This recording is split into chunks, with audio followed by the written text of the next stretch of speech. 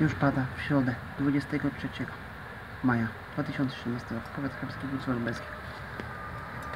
I grzmi. Ale za chwilę, za jakieś 10-15 będzie pogoda.